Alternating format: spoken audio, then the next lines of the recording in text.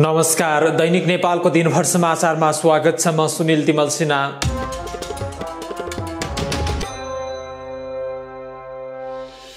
कानुन नबन्दा संहिता र प्रदेश सरकारमाथि हमला भएको प्रधानमन्त्री पुष्पकमल दाल प्रचण्डको भनाई प्रहरी समायोजनको काम पन्ध्र दिनभित्र टुङ्ग्याउन निर्देशन। सन्दीप लामी छानेलाई बलात्कार आरोप लगाउने किशोरीको पहिचान सार्वजनिक गर्ने एकजना पक्राउ। पक्राउ परेमा सङ्खुवा सभाका बत्तीस वर्षीय केशरमान राई। राजनैतिक दल सम्बन्धी ऐन दुई हजार त्रिहत्तरलाई संशोधन गर्न बनेको विधेयक सङ्घीय संसद समक्ष पेश गर्न सरकारले दियो स्वीकृति। आर्थिक कार्यविधि तथा वित्तीय उत्तरदायित्व ऐन दुई हजार त्रिहत्तरलाई संशोधन गर्न बनेको अध्यादेश दुई हजार असी जारी गर्ने निर्णय। शहीद राष्ट्रिय हृदय केन्द्रको कार्यकारी निर्देशकमा डाक्टर रवि मल्ल नियुक्त।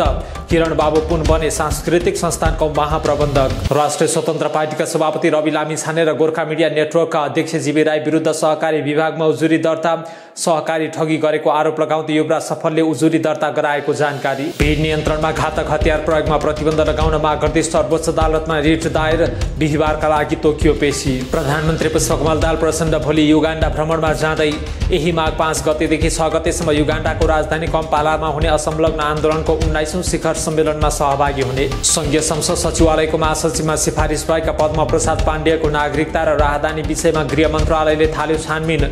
जिल्ला प्रशासन कार्यालय पाल्पा राहदानी विभाग र राहदानीको प्रयोगका विषयमा अध्यापन विभागसँग जानकारी माग। काठमाडौँमा नक्कली मदिरा बनाउने गिरोह पक्राउ। काठमाडौँका विभिन्न ठाउँमा नक्कली मदिराको कारखाना र गोदाममा छापा मारेर नौजनालाई पक्राउ गरिएको प्रहरीद्वारा जानकारी। संविधान दिवसको दिन कैद मिना पाएर रिहा भएका व्यक्ति पुनः चोरी आरोपमा पक्राउ।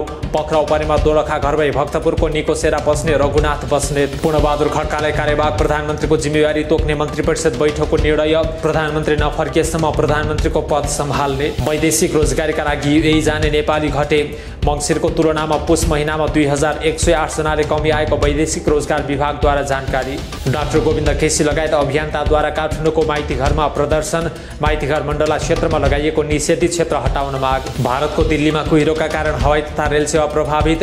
इन्दिरा गान्धी अन्तर्राष्ट्रिय विमानस्थलका लागि हुने एक सय बिसवटा उडानहरू र दिल्ली जाने करिब बिसवटा यात्रुवाहक रेलहरू प्रभावित। सिरिए क्लब रोमाद्वारा प्रशिक्षक जोसे मौरिनोलाई बर्खास्त।